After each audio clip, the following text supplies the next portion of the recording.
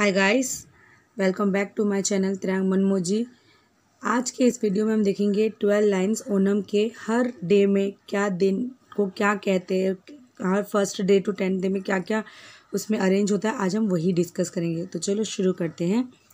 Onam is a very famous festival in Kerala the Onam is celebrated in the month of Chingam it is also a harvest festival usually falls in the month of August or September. Onam festival is celebrated for 10 days. The first day is Atham. King Mahabaliji prepares to go for to go from Heads to Kerala. Onam preparation starts from this day. The second day is Chithira. On this day, carpet of flowers making starts is called as Pukkalam.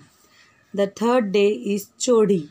On this day, four to five types of flowers are made in Pukkalam. The fourth day is Vishakam. From this day, many types of competition start. The fifth day is Anijam. On this day, preparation are made for the boat race. The sixth day is Triketa. Holidays begin from this day. The seventh day is Moolam. On this day, special kind of worship is done in the temple. The eighth day is Purnadam.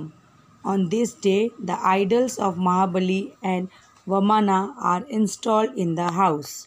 The ninth day is Uttradam. On this day, Mahabalis enter the state of Kerala.